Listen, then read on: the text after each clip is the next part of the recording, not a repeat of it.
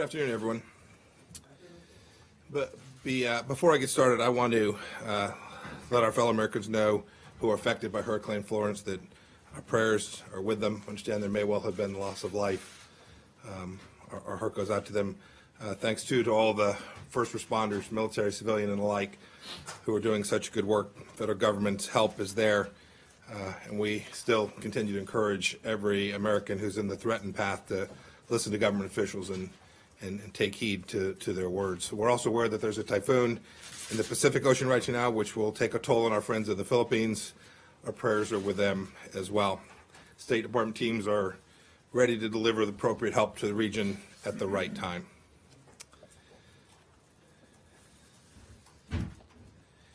As you all know, on Wednesday, President Trump signed an executive order that made clear uh, that our administration will not tolerate foreign interference in our democratic processes. Elections are the foundation of our democracy, and preserving their integrity is a matter of protecting sovereignty and American national security. Foreign malicious actors have used information technology and social media to open new fronts in their efforts to undermine our democracy and our core institutions. These actors want to turn Americans against one another and convince us that our institutions, our ideals, are defective. But we're resolved to defeat these efforts and make clear that those who interfere with our, interfere with our liberties will pay a price. In the last few years, Russia has been particularly aggressive in using its cyber capabilities, disinformation, and other covert means to attempt to sow instability in America. As this executive order makes clear, if Russia or any other foreign government or persons acting on their behalf interfere in a United States election, there will be swift and severe consequences. The order provides for mandatory sanctions against foreign persons determined to have participated, participated in interference in our elections. It also provides for additional measures that could be capable of devastating or interfering in our country's economy. and if the government of that country authorized, directed, or sponsored or supported election interference, we're going to come after them. The State Department will continue to work closely with other agencies to identify, expose, and expose foreign interference directed against American elections, no matter which entity initiated it.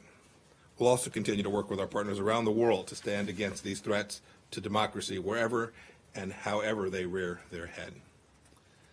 I want to spend just a few minutes on this Friday afternoon talking about the team here at the State Department as well. Yesterday was a great day. It was a proud day. Uh, after Senate confirmation, President Trump conferred on four of our officers the position of career ambassador four of the State Department's finest Philip Goldberg, David Hale, my Undersecretary for Political Affairs, Michele Sison, and Dan Smith. Uh, this is the highest and most prestigious rank at the Foreign Service. Uh, they should all be very proud. I know I'm proud of them. Uh, the American people, too, should be proud of Phil, David, Michele, and Dan representing our country. They have all proven over many years of service that their outstanding diplomatic skills and leadership qualities are much needed and that they're delivering. They're an inspiration too. They're great leaders. I congratulate them all on behalf of all of my State Department colleagues. It's a good step towards strengthening the State Department's leadership, something I've put at the top of my priority set in my first now uh, several months here. Uh, I know that American diplomacy is most agile and most effective when we have our entire team in place. We need to have that senior leadership team empowered. To that end, we do have some new leaders already making an impact. I mentioned David Hale, He's my Undersecretary for Political Affairs. We also have Director of Policy Planning, Kiron Skinner, who I've not mentioned at the podium before. She is a highly distinguished academic, knowledgeable across a broad range of issues, and she is going to make sure the best foreign policy ideas rise to the top here at the State Department. Uh, when I went before the Senate Foreign Relations Committee, I only made a couple of promises, uh, but one of them was that I would get the team on the field. Uh, I knew that this was critical to strengthening the finest diplomatic corps in the world, and that's what I said that day. I told them I'd do my part, uh, that I would fill those positions, I would work with the president to get the individuals nominated, and we have made great progress getting confirmable positions filled, and we need that progress to continue. The places where we still have gaps, places like Western Hemisphere, where we have challenges in Venezuela and Nicaragua, uh, and in Mexico and the Northern Triangle, important areas we need a leader. We haven't had an undersecretary for management here for quite some time. We need a confirmed person. And in Near Eastern Affairs, a place that I've spent a great deal of my time in these first months, we are still looking for confirmation of our Assistant Secretary. The list is long, I could go on, and I am just hopeful that we can finish the process so that um, both the executive and legislative branch will have what it is I know each of us wants, a fully filled, capable team executing America's foreign policy. And with that, I'm happy to take a few questions. I'll- And I'll call on you just to help along. Uh, Matt Lee from the Associated Press to start. You have one question please. Hello, Matt. Sure. Hi. Uh, Good afternoon, sir. Um, I was going to ask you about your uh, interior decorating plans at your new house, but I thought I would instead start with something a little bit more mundane on the policy-wise, and that is that, uh, on the policy, on a policy question, that is that last night, uh, President Trump tweeted about one of your predecessors, Secretary Kerry, saying that he was having quote-unquote illegal meetings with Iran's foreign minister, and uh, what others have said is an attempt to undermine or subvert or coach the Iranians on how to get around or avoid the new, uh, your new har- harder, tougher policy in Iran. I'm wondering if you share the president's view that these meetings are illegal, and whether you do or not, uh, if you have noticed in your attempts to get with the Europeans and others to get them on board with the new U.S. policy, um, that that efforts by Secretary Kerry or any other foreign, former official, for that matter, has is, is interfering in or under, undermining your your efforts. So I'll leave the legal determinations to others. Uh, But what Secretary Kerry has done is unseemly and unprecedented.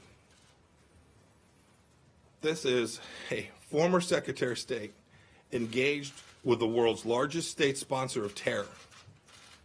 And according to him, right? I don't, you have to take my word for it. He, these are his answers. He was, he was talking to them. He was telling them to wait out this administration. I, I, you, you can't find precedent for this in U.S. history, and um, Secretary ought not to Secretary Kerry ought not to engage in that kind of behavior. It's inconsistent with what the foreign policy of the United States is, as directed by this president, and it is beyond inappropriate for him to be engaged in this. I remember I saw him. I saw him in Munich uh, at the at the security conference. He was there with, if I have my facts right, because I think I saw them all with my own eyes, Secretary Moniz and Wendy Sherman, the Troika. And I am confident that they met with their Troika counterparts, although you, one can perhaps ask Secretary Kerry if my recollection with respect to that is accurate. Uh, I wasn't in the meeting, but I am reasonably confident that he was not there in support of U.S. policy with respect to uh, the Islamic Republic of Iran, who this week fired Katyusha rockets toward the United States Embassy in Baghdad and took action against our consulate in Basra. Next. When I just said, has it had an impact? Has it hurt your efforts? That's the it's just it. Or- I've, I've, I've, I've, Okay. I think you, I think you understand what I wish it is that former secretaries of state, all of them, from either political party, ought not to be engaged in. Uh, Actively undermining U.S. policy, actively undermining U.S. policy as a former secretary of state is literally unheard of. Lesley Wroughton from Reuters. Uh, Mr. Secretary, uh, good afternoon. Um, I wanted to reach out to you uh, regarding uh, Russia and China are suggesting at the Security Council that you should be, um, the United States and others should be um, easing sanctions against North Korea, given um, progress in their eyes uh, so far in the denuclearization process. What signs are you seeing that they are perhaps not um, sticking to the sanctions, and how is that damaging your efforts at trying to get a full um, denuclearization um, from North Korea? So two, two things to say in this regard. Uh, One is that I, I spoke with Ambassador Haley about this earlier today. Um, Russia has actively attempted to undermine the UN Security Council resolutions, the work of the 1718 committee, the committee at the UN that uh, evaluates uh, compliance with sanctions, uh, by attempting to change the language there. I hope that the 1718 committee will do what it has historically done, uh, remain independent and report on the facts as it know it, and not allow a single country, in this case Russia, uh, to draft language and have it inserted. I hope they will uh, publish the original document that they intended to publish, which shows uh, uh, it shows, it shows clear uh, activities related to sanctions and sanctions violations. It's important. It's the data set that underlays not American sanctions, but the world sanctions from the UN Security Council. Your, your question was broader than just that.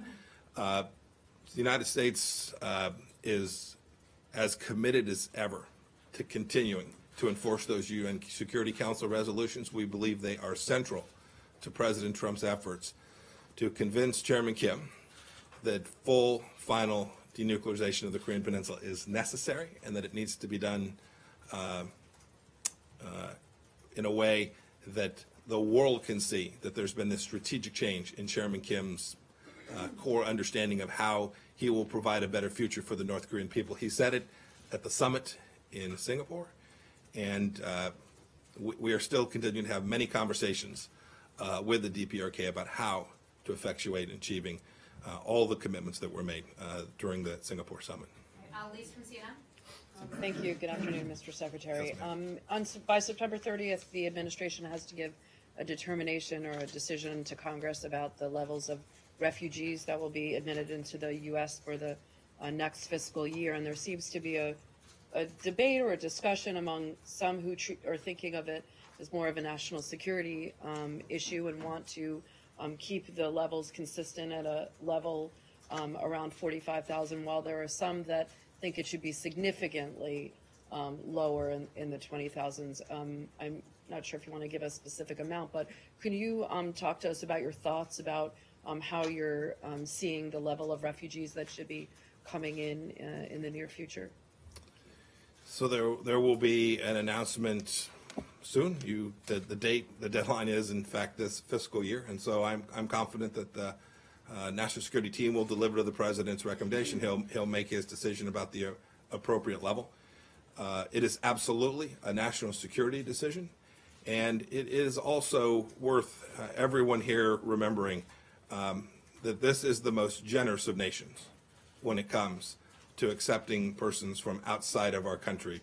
Uh, I am I'm incredibly proud not only what we have done as a historical matter, but the way the Trump administration has dealt with this issue as well. I am confident that the decision that comes out of this uh, issue with respect to refugees for next fiscal year, uh, America will remain among the most generous nations with respect to taking persons from outside of our country. We always have, and I fully expect that will continue. What your particular um, thoughts are in terms of numbers? No, I, uh, I, I share those thoughts with the president, and then when we have a, a decision from him, we'll, we'll announce it. Thank you. Last question, uh, Rich Edson from Fox News. Thanks, Heather. Uh, Mr. Secretary, do you think that this effort that you were um, discussing about the JCPOA, do you think it goes beyond those you mentioned, Secretary Kerry and Wendy Sherman? Do you think there are other former administration officials who are advising the Europeans and the Iranians? And um, will the administration uh, sanction members or the board members or the entity of SWIFT if they continue to process your uh, Iranian transactions? So second question first. Um, I, I don't know the decision with respect to SWIFT in particular. Uh, there are still a number of decisions pending before the November 1st deadline, excuse me, November 4th deadline that we've, we've got to make uh, about waivers or potential waivers, and we're, we're working our way through each of those. Uh, But make no mistake about it, come November 4th, uh, there will be a fundamentally different set of rules with respect to anyone who deems it uh, necessary to engage with econ- in economic activity with the Islamic Republic of Iran.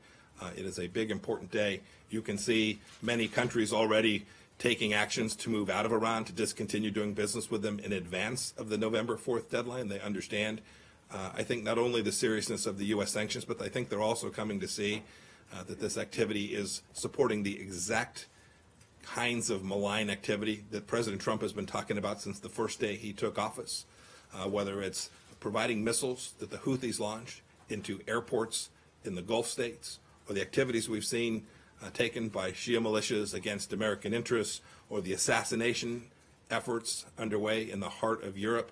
I think the world is beginning to see that the challenge is much bigger than anything that the JCPOA, JCPOA even pretended to have addressed.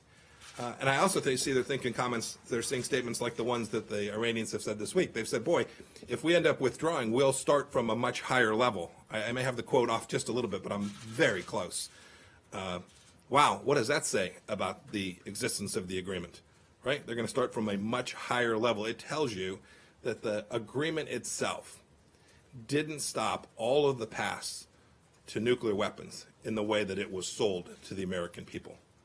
Did I, did I answer? You may have had a first question. the that I first missed. question was, are there, are there any more administration officials who, previous administration officials who you believe are influencing allies and Iran?